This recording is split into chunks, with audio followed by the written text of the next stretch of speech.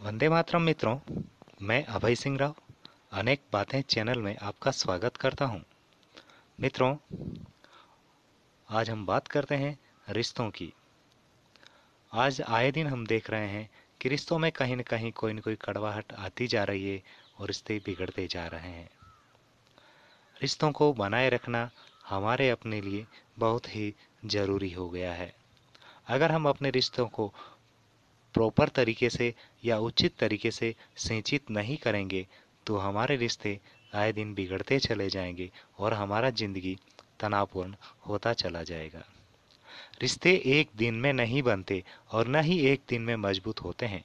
सही तरीका यह है कि रिश्तों को बेहतर बनाने के लिए हमेशा काम करते रहो। जब तुम दुखी होना भूल जाओ तो समझ लेना रिश्ता मज़बूत हो गया है।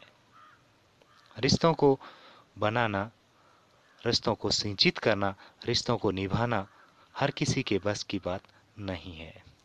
जवाब तो हर बात का दिया जा सकता है, मगर जो रिश्तों की अहमियत ना समझ पाया, वो शब्दों को क्या समझेंगे?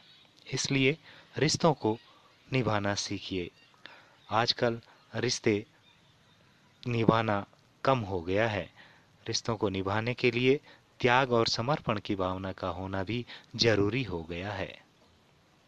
करीब इतना रहो कि रिश्ते में प्यार रहे, दूर इतना रहो कि आने का इंतज़ार रहे।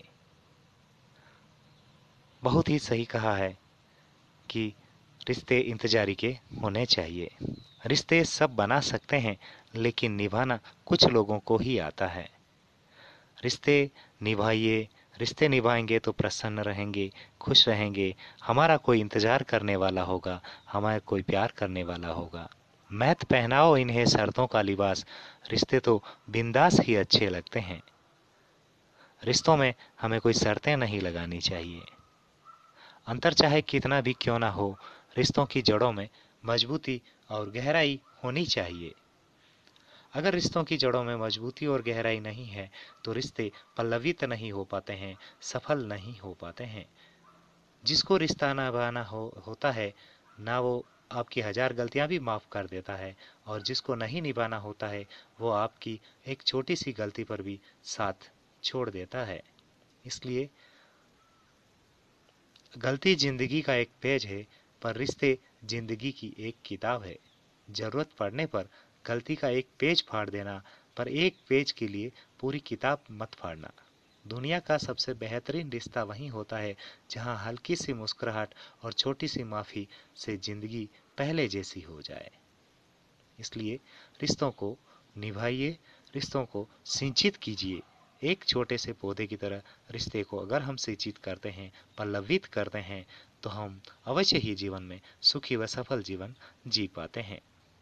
मित्रों मेरा यह वीडियो आपको कैसा लगा, कमेंट में अवश्य बताएँ। जय हिंद, जय भारत, वंदे मातरम।